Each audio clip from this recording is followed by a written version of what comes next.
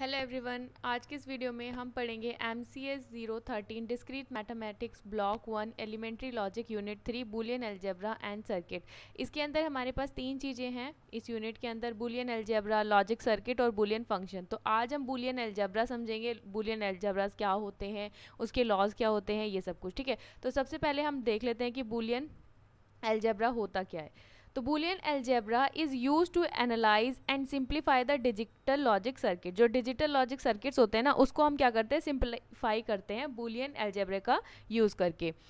It use only the binary number ठीक है? इसको हम सिर्फ़ बाइनरी नंबर्स में यूज़ करते हैं ज़ीरो और वन के फॉर्मेट में, ठीक है? It is also called as binary algebra और लॉजिकल एल्जेब्रा इसको हम लॉजिकल एल्जेब्रा या फिर बाइनरी एल्जेब्रा भी कहते हैं, ठीक है? तो अगर देखो, यहाँ पर जो हम बुलियन एल्जेब्रा का लॉ यूज़ करते हैं तो उसमें क्या क्या चीज़ें होती है? अगर हमारे पास कुछ इस तरह से दिया हुआ है, ठीक है?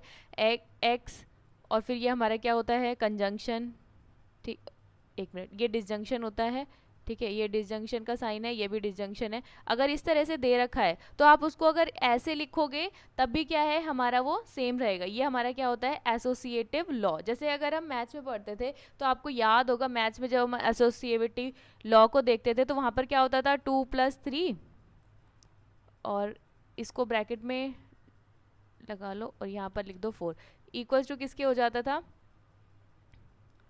फोर प्लस टू और प्लस थ्री के बराबर हो जाता था, ठीक है? ये जो मतलब अगर हमें, ये जो साइन देखे डिजंक्शन का तो वो किस मतलब प्लस की वे में यूज़ किया जाता है। प्लस की जगह पे हम इसका यूज़ कर सकते हैं, ठीक है? और ये वाला जो साइन होता है, इसको हम डॉट की जगह पे, यानी कि मल्टीप्लाई की जगह पे यूज़ कर सकते हैं, ठीक है? इस तरह से हम यूज़ लिखते हैं इसको।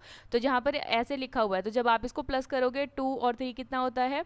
फाइव फाइव प्लस फोर कितना हो गया? नाइन तो यहाँ पर भी नाइन आएगा और यहाँ पर भी कितना आएगा? फोर और टू कितना हो गया? फोर फाइव सिक्स सिक्स और प्लस थ्री कितना हो गया? नाइन। तो ये दोनों के आंसर जो है वो सेम आए तो मतलब इसमें भी हम इस तरह से लिख सकते हैं, ठीक है? और यहाँ पर भी हम ऐसे लिख सकते हैं। यहाँ पर जो साइन है वो किसका है? हमारे पास कंजंक्शन का है और यहाँ पर भी साइन क्या रहेगा? कंजंक्शन का रहेगा। तो ध्यान रखना है आपको साइन को चेंज नहीं करना है। बस ब्रैकेट को इधर उधर करना है, ठीक है? ब्रैकेट को स्टार्टिंग का छोड़कर और दूसरे वाले के साथ में हम लगा सकते हैं। तो ये हमारा होता है होता है एसोसिएटिव लॉ उसके बाद है कॉम्युनिकेटिव लॉ कॉम्युनिकेटिव लॉ में दो डिजिट्स के साथ होगा मतलब हम उन डिजिट्स को आपस में उसकी जगह को चेंज कर सकते हैं। जैसे यहाँ पर एक्स लिखा है, यहाँ वाई लिखा है तो हम वाई और एक्स लिख सकते हैं और साइन हमारा चेंज नहीं होगा, साइन को हम वही लगाएँगे।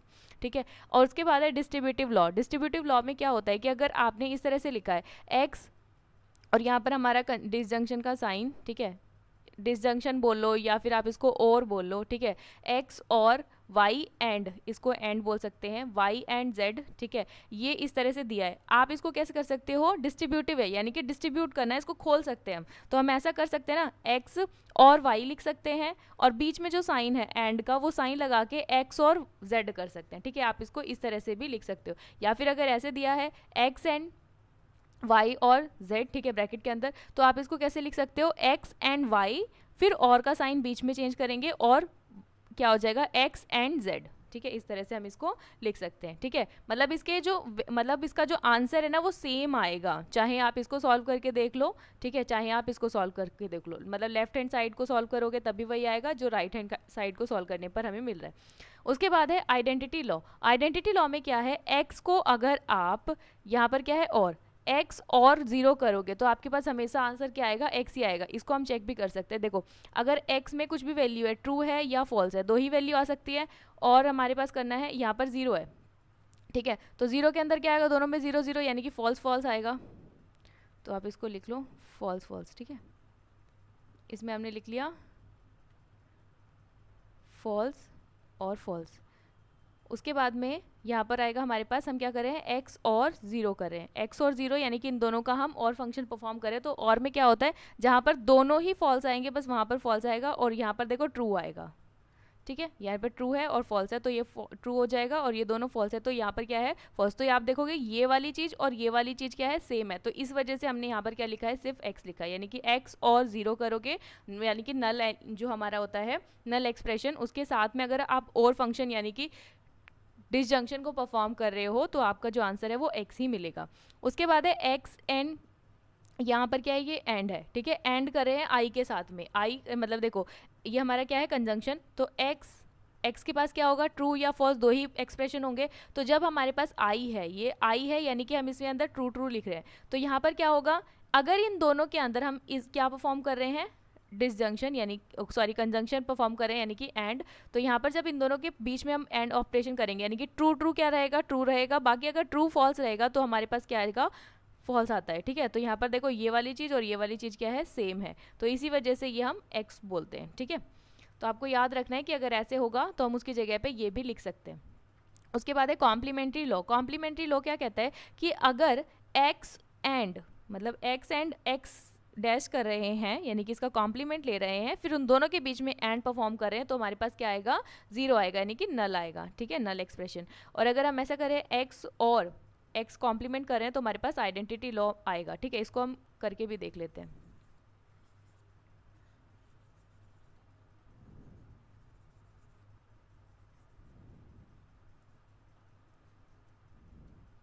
जैसे हमारे पास लिखा है एक्स एक्स में हमारे पास दो एक्सप्रेशन आ सकते हैं, ठीक है? ट्रू या फॉल्स एक्स नॉट में हमारे पास क्या आ सकता है? इसका फॉल्स हो जाएगा और इसका ट्रू हो जाएगा, ठीक है? अब इन दोनों के बीच में हम एंड ऑपरेशन परफॉर्म करेंगे। तो एंड ऑपरेशन करेंगे तो क्या आएगा? एक्स एंड एक्स कॉम्प्लीमेंट इन दोनों का ऑपरेशन करेंगे तो यहाँ पर क्या आएगा? देखो एंड में क्या कहता है? एंड कहता है, यानी कि जो हमारे कंजंक्शन वाला रूल है, वो कहता है कि अगर दोनों फॉल्स हैं तो हमारे पास क्या आएगा? फॉल्स आएगा। अगर दोनों ट्रू है, तभी ट्रू आता है अदरवाइज़ फॉल्स आता है। तो ट्रू फॉल्स क्या हो जाएगा? फॉल्स हो जाएगा। फॉल्स ट्रू क्या हो जाएगा? फॉल्स हो जाएगा। तो ये दोनों क्या है? फॉल्स आ गए। तो ये क्या है हमारा? नल एक्सप्रेशन ठीक है? यानी कि फॉल्स है। इसकी जगह पे आप ज़ीरो लिख सकते हो, ठीक है? उसके बाद में आप क्या है? एक्स और कर रहे हैं। एक्स और एक्स का कॉम्प्लीमेंट ठीक है? तो यहाँ पर जब करेंगे तो ट्रू फॉल्स क्या होता है? ट्रू आएगा। फॉल्स ट्रू क्या होगा? ट्रू आएगा। तो ये हमारा क्या होगा? आइडेंटिटी ठीक है? आई तो यहाँ से हम इस तरह से देख सकते हैं, ठीक है? यानी कि अगर ज़ीरो आया तो क्या आएगा? नल ज़ीरो लिखेंगे। अगर फॉल्स आया, यानी कि अगर ट्रू फॉल्स आएगा तो हम नल लिखेंगे। अगर हमारे पास ट्रू आ रहा है तो हम वन लिखेंगे, ठीक है? ये हमारे बुलियन एल्जेब्रा के कुछ लॉज हैं। उसके बाद में ये कुछ लॉज हैं जो थ्योरम से रिप्रेजेंट करें। यहाँ पर थ्योरम वन कहती है कि लेट बी इक्वल्स टू क्या है? ये हमारा सेट ऑफ़ ऑल जो भी हमारे प्रपोजिशन होते हैं ना, उसका सेट हम इससे रिप्रेजेंट करें। ये हमारा क्या है? अभी हमने पढ़ा, ये क्या होता है? डिसजंक्शन होता है, ठीक है? ये हमारा क्या होता है? कंजंक्शन होता है, ये हमारा नल एक्सप्रेशन होता है, ये हमारा आइडेंटिटी के लिए यूज़ होता है, ठीक है? बी यानी कि यहाँ पर अगर फॉल्स आ रहा होगा सब कुछ, यानी कि सारी वैल्यूज़ फॉल्स हैं तो हम इसका यूज़ करेंगे। अगर सारी वैल्यूज़ ट्रू हैं तो हम इसका यूज़ करेंगे। ये हमें पता है। To be Boolean algebra then तो हमें इन लॉज को देखना है फॉर ऑल एक्स जितने भी एक्स हैं, उन सभी के लिए X and Y belongs to S जो क्या है, इस प्रपोजिशन से बिलोंग करें तो सबसे पहले हमारा क्या है?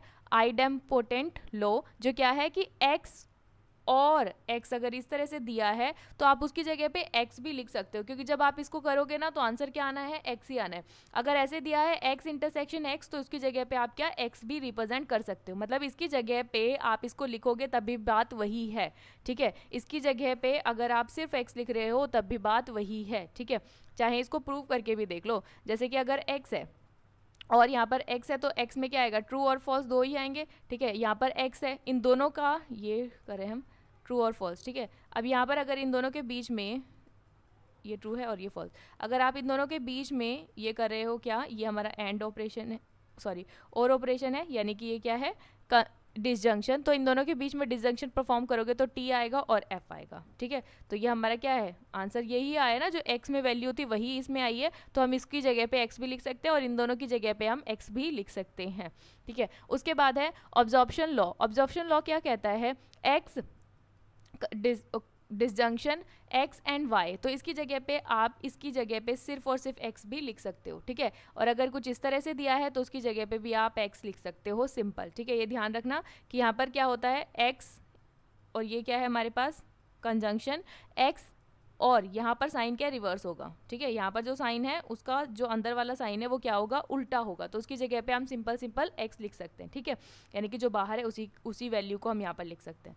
उसके बाद है इन्वॉल्यूशन लो इन्वॉल्यूशन लो क्या है कि अगर मान लो आपके पास में x का कॉम्प्लीमेंट दिया है, उसका अगेन कॉम्प्लीमेंट कर देंगे तो वो किसके बराबर हो जाएगा? x के बराबर हो जाएगा। उसके बाद है De Morgan's law De Morgan's law क्या कहता है कि अगर आपने एक्स वाई एक्स और ये इस तरह से दिया है एस एक्स डिसजंक्शन वाई इन दोनों का कॉम्प्लीमेंट ठीक है? इन दोनों का कॉम्प्लीमेंट तो हम क्या करेंगे? इसको एक्स का कॉम्प्लीमेंट हो जाएगा, बस यहाँ पर जो साइन होगा ना, उसको हम रिवर्स कर देंगे। साइन देखो, यहाँ पर क्या था? डिसजंक्शन का, यहाँ पर जो साइन है वो किसका हो गया? कंजंक्शन का। तो यहाँ पर क्या हो गया? ये साइन और का था, ये एंड हो गया, ठीक है?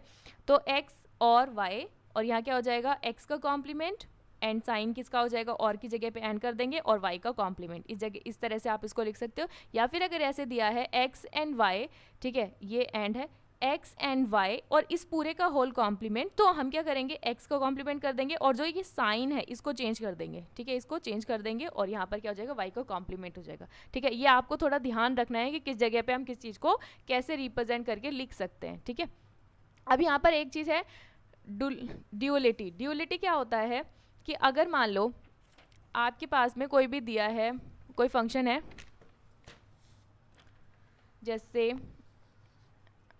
अगर हमारी ड्यूलिटी है, ठीक है, इसको अगर हमें फाइंड करना है तो कैसे फाइंड करेंगे? पहला स्टेप क्या है कि अगर आपके पास ये डॉट दिया है तो डॉट अभी मैंने बताया आपको किसके लिए यूज़ करते हैं? इस, इसके लिए यूज़ करते हैं, जो हमारा कंजंक्शन होता है। कंजंक्शन किसमें चेंज हो जाएगा? कंजंक्शन डिसजंक्शन में चेंज हो जाएगा, ठीक है? अगर हम इसकी ड्यूलिटी को चेक कर रहे हैं मतलब दोनों साइड हमें करना पड़ेगा, ठीक है? और अगर हमारा सेकेंड है कि अगर कोई चीज़ ज़ीरो है तो वो किसमें चेंज हो जाएगी? वन में चेंज हो जाएगी और वन ज़ीरो में चेंज हो जाएगा मतलब ये आपस में एक दूसरे को चेंज कर सकते हैं, ठीक है? और यहाँ पर ये क्या हो जाएगा? प्लस में चेंज हो जाएगा, ठीक? अब यहाँ पर जो प्रिकॉशन यानी कि इसमें ध्यान क्या रखना है आपको? Do not complement complement the variable. बस वेरिएबल का कॉम्प्लीमेंट नहीं करना, ठीक है? जैसे कि अगर ऐसे दिया है, आपके पास कोई फ़ंक्शन एफ़ दिया है, उसके अंदर ए प्लस बी सी इस तरह से दिया है। तो अगर आप एफ़ डी निकाल रहे हो मतलब फ़ंक्शन की ड्यूलिटी चेक कर रहे हो तो यहाँ पर आप कैसे लिख सकते हो? A plus B multiply C ऐसे दिखा है ना? तो इसको आप कैसे लिख सकते हो?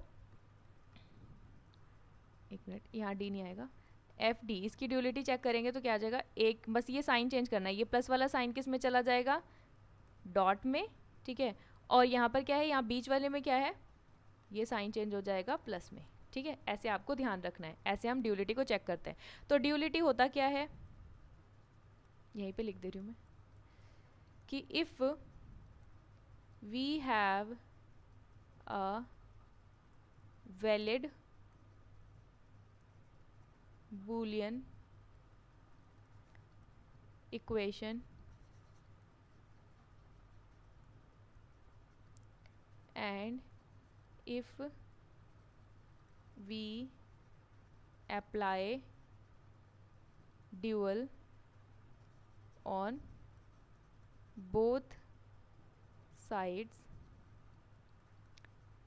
then it's dual equation will also be valid. ठीक है? अगर मान लो आपको कोई इक्वेशन दे रखी है उस इक्वेशन में जैसे सपोज़ करो कि आपको कुछ न, ऐसा दिया है like A plus B C ठीक है? ऐसे दिया है तो उसको आप कैसे लिख सकते हो? ए या फिर ये इक्वेशन मान लो, ये एक इक्वेशन है, ठीक है? ए